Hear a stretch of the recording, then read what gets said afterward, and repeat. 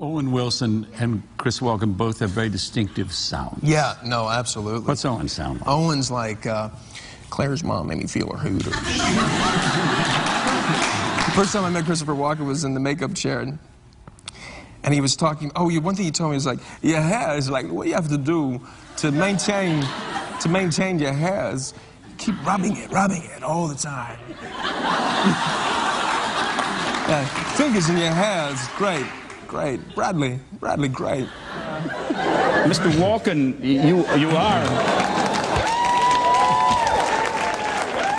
You are, despite what was just said, a, a distinguished member of the Actors Studio, uh, and this is your second time on this stage. Uh, do you have a response for, for Marlon? Well, you know.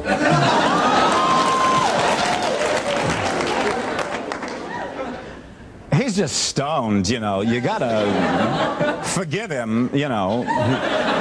He's crazy that way. I'm going to call on another member of the Actors Studio, distinguished member of the Actors Studio. Had you worked uh, with De Niro before this film anywhere? No. Had you had you met him anywhere?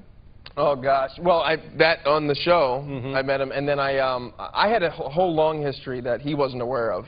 Um, that I, I auditioned for a, for a movie. I put myself on tape for a movie that uh, to play his son, and my mother my mother played him, and he actually saw the tape and called me in to meet him. Oh, that's nice. Yeah, that was yeah that was uh, and I was a mess and I couldn't believe it and I sat down and he just said uh, he didn't say much. He just said, uh, "Yeah, I." Uh, I see, I see it. I see you. I, uh, I, I see it. Um, okay.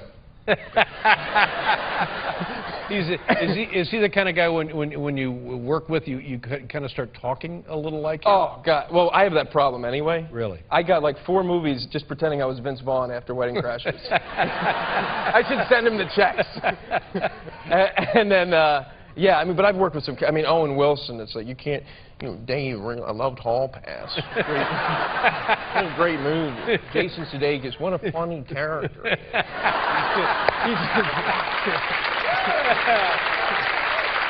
Yeah.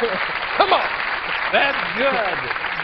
Um, and then De Niro is the worst because I, I wasn't even aware of it. It it just started to happen. And I remember uh, uh, one night uh, after we shot the movie, I was out to dinner with him and his old friend Art Linson, and I was talking to him. I was so excited to be there. And halfway through the conversation, Art Linson goes, "Hey, hey, man, you're doing Bob." And I was like, "What are you talking about?" He goes, "You're acting like Bob." I was like, uh, I, I, I'm sorry. and then.